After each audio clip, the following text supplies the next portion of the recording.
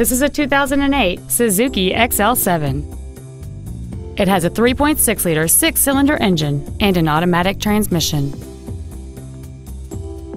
All of the following features are included a power moonroof, heated front seats, cruise control, a CD player, a passenger side vanity mirror, a security system, a traction control system, an anti lock braking system, air conditioning with automatic climate control, and this vehicle has fewer than 34,000 miles on the odometer.